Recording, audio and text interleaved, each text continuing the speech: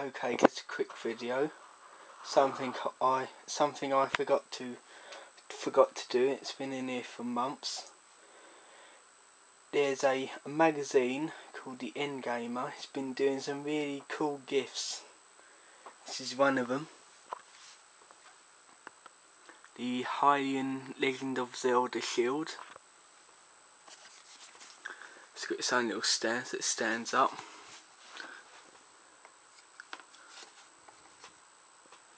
Like that.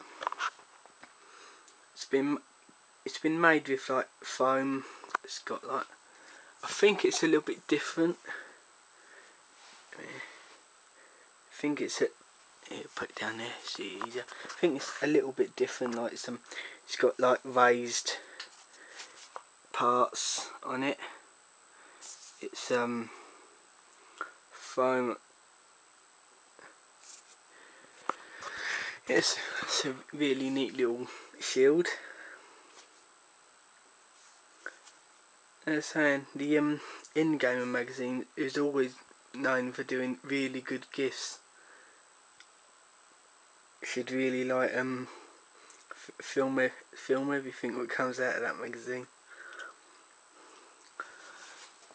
Unfortunately, I'm not quite sure if it's if it's available in the US. This is in the UK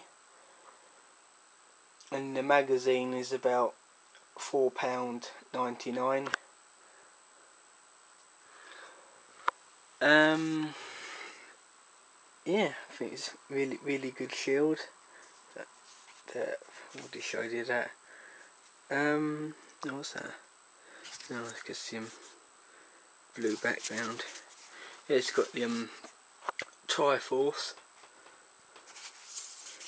and the um crest, whatever they call it. I think I think it's some kind of bird or something.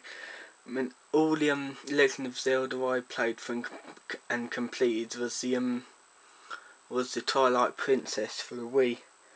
I've I've played through through others, but I I like I like Mario and Resident Evil games. The um Zelda games they're they're they're alright. Just depends which one it is. Yeah so that was a, little like video on the um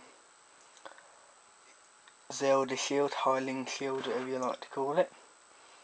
So, see you next time.